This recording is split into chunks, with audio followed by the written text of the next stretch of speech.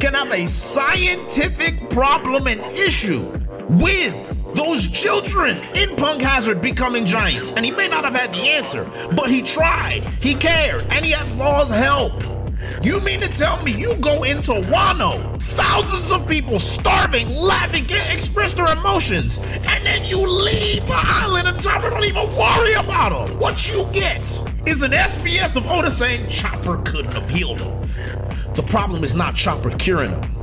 The problem is Chopper caring in the first place. The problem is Chopper saying, oh my god, I don't have an answer. Why don't I talk to Vegapunk about it and see if I can fix it so I can have my dreams achieved of curing every disease and illness in the world? But you want me to believe Chopper's a real character still? Every Chopper fan on planet Earth took a massive L today. And I tell you what, I got my joy back. Huh?